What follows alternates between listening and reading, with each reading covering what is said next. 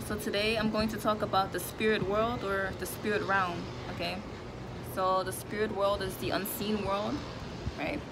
And in the spirit world where there there are two forces, right? So there's the good forces and the evil forces, right? So the good forces obviously is God and his angels and Christ, right?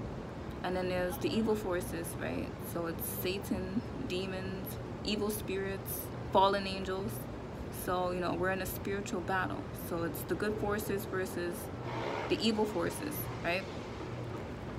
So um, the Bible talks about the evil forces, right?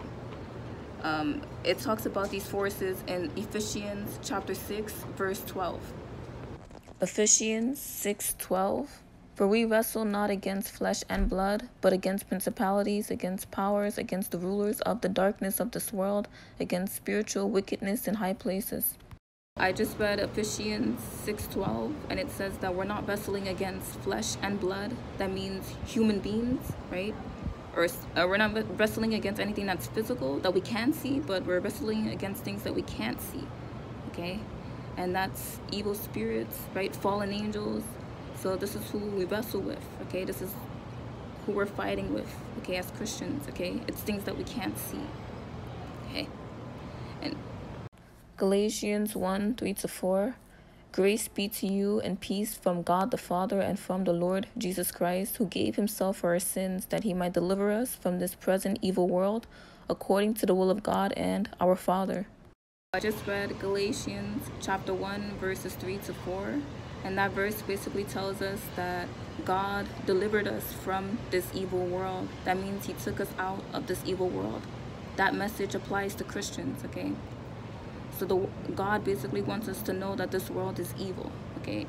And that's why the Bible says to not conform to this world, to not conform to it, okay? Because this world is evil, right? The Bible lets us know that this world has been taken over by uh, demonic forces, evil spirits in high places okay? So that's why god does not want us to partake in this world because it's evil and it's fallen okay? First john 2 15 to 16 love not the world neither the things that are in the world. If any man love the world the love of the father is not in him. For all that is in the world, the lust of the flesh and the lust of the eyes and the pride of life is not of the Father, but is of the world. I just read First John 2 15 to 16.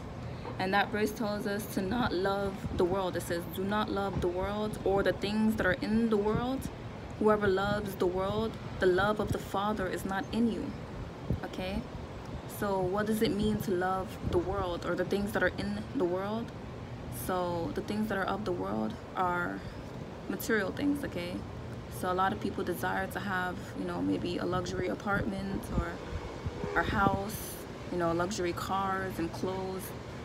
Sure, um, God gives people these things, and some of you may have these things, but uh, the Bible tells us really we shouldn't be de desiring those things, okay?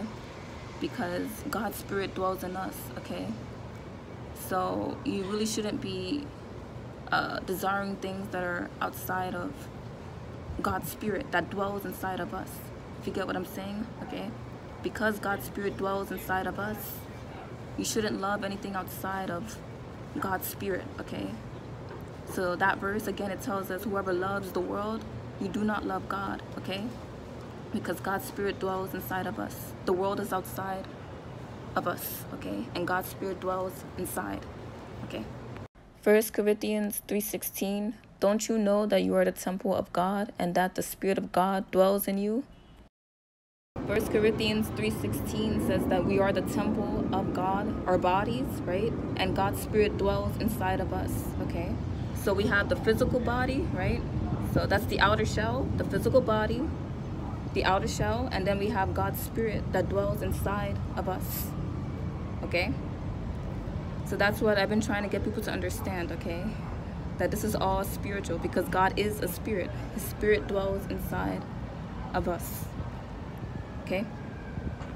Titus 2:11 12 For the grace of God that brings salvation has appeared to all men, teaching us that denying ungodliness and worldly lusts, we should live soberly, righteously, and godly in this present world.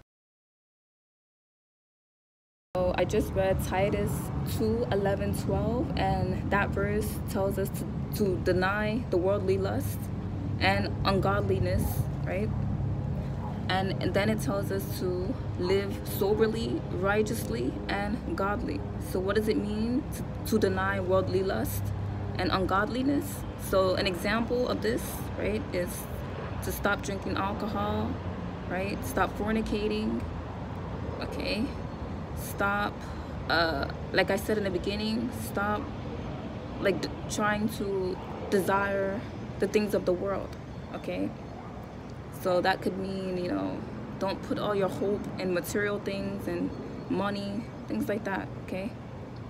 But it says to live righteously and godly, okay? Because God's Spirit dwells inside of us, okay? We should be uh, building this relationship with God, right? We should be connecting with God's Spirit, okay? You have to connect with God's Spirit and continue to read your Bible, okay? And stay in prayer, Okay, so connect with the Spirit of God that dwells inside of us. Again, read your Bible and stay in prayer. Okay, stop drinking alcohol, stop smoking weed.